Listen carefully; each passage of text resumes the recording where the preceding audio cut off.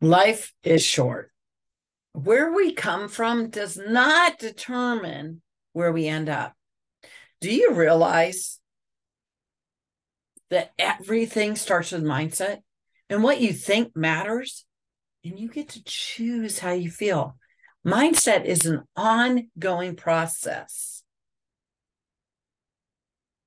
Everything starts with mindset everything in life starts with mindset. Our mind and our and the records we play in our head were programmed when we were young.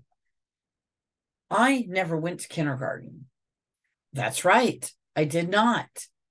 I started school in first grade in a private school and i didn't realize i could not they couldn't didn't realize i couldn't read until third grade. I fell through the cracks. Therefore i struggled with reading and I was behind and did not learn to read till third grade. They moved me two years later to a public school, and by fifth grade, I was reading at a third grade level. I was behind, struggling in school, not knowing what to do with me. The public school put me in a special resource rooms. The kids made fun of me. They called me retarded and goody two shoes since I came from a private school. I had no friends in fifth or sixth grade. It was hard. And to make matters worse, they would take me out of my resource room to give a book report in front of my fifth grade peers. Yes, a third grade book report in front of fifth graders. Can you imagine how that went for me? And to make matters even worse, my sister, who was two years younger than me, was smart. In third grade, she was reading at the fifth grade level. And when adults would come over, my parents would have me show them how I could read. And I was so proud. That, and I would show these adults how I could read. They would then call my sister in and show how she could read at fifth grade. Now, this made me feel dumb. And I struggled in school, never thinking I was smart enough or good enough to do well in school. I learned to just get by in school and make many, many friends. I could do that. I'm an expert, extrovert on steroids, and I love people. That's what I decided school was for. How we think matters, and we get to choose. So, not feeling smart is hard growing up, and even harder when you have intelligent siblings who are advanced in school. I thought I needed to be smarter and prettier. This mindset growing up affected me a lot. I ended up moving out two days after I was 17, and I didn't get to finish high school. I got married at 18 to an abusive alcoholic man. And I got pregnant five months after I got married. And I had a baby by the time I was 19. You talk about growing up fast. And I ended up buying into those lies of being ugly and not smart enough. And my abusive husband used those lies against me. I stayed married, not believing I had another choice. With no GED, no money, as my ex husband had drank it all, and no driver's license. And people told me I couldn't. And I accepted the lies. And finally, at 20, I walked out of a marriage, unsure of what to do. I had no money, GED, and no driver's license. And it took me four times to leave my abuser. And the average attempt to leave an abusive relationship is seven. So I beat the odds. But I had a friend named Gerald Harris that would tell me I could when I didn't believe I could. He would tell me I could when others said I couldn't. Gerald helped me believe in myself when I didn't believe in me. We need to find people who believe in you. He saw things in me that I didn't see in myself. When I said I couldn't do it, he would say, Do you want to or you don't? Telling me I had to decide, telling me it was my choice. Gerald supported me through my education as I learned to believe in myself. And each success and achievement I made helped me realize I could do more. I got my GED and my driver's license, and I earned an associate's degree and then a bachelor's degree from Park University. Every success took me closer to more success. And I found people who believed in me and who encouraged me along the way. They even told me I was smart. Can you believe it? Who are those people you need in your life to help you move forward? Chapter four of my book is all about that.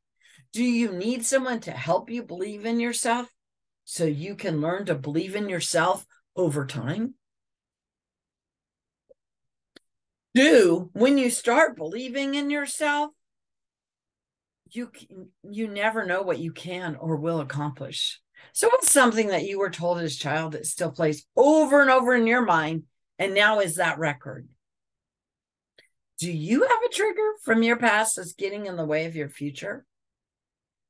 Take a minute right now, and I passed out these cards.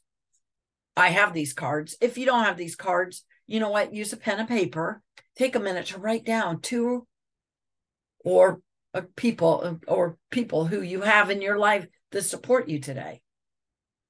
Do you know that mindset affects us all? Perspective on how we look at something matters, and we get to choose. We get to learn to reevaluate your thoughts. You get to learn to reevaluate and change your mindset. It's a process.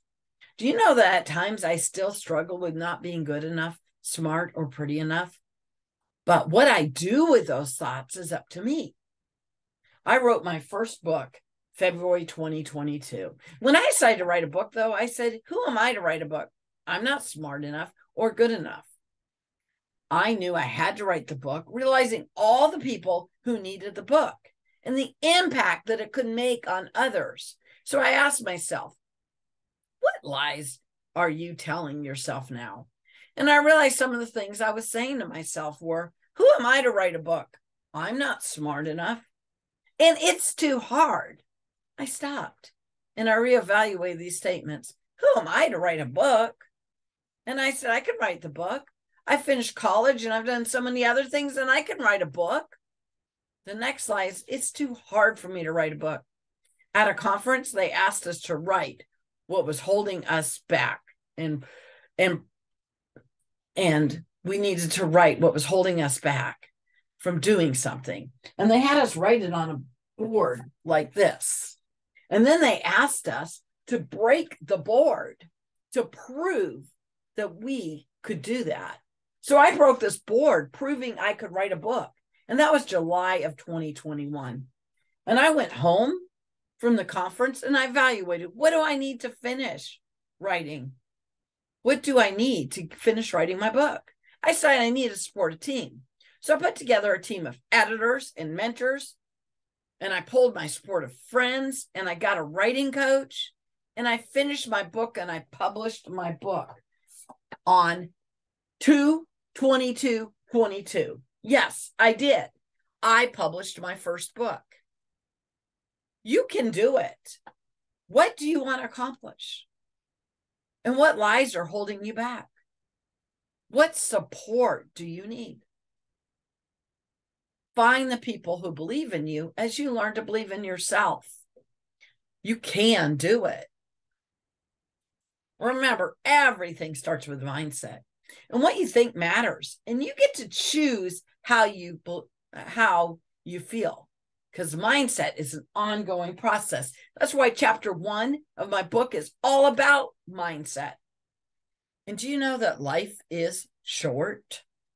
And where you come from does not determine where you end up. And I'd love to give you a free copy of this book if you're interested. You can scan this or go to this URL code and get a free copy.